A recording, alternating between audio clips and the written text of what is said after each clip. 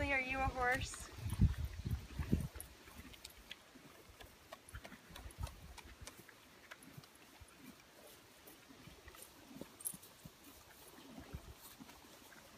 Yeah, you're a horse.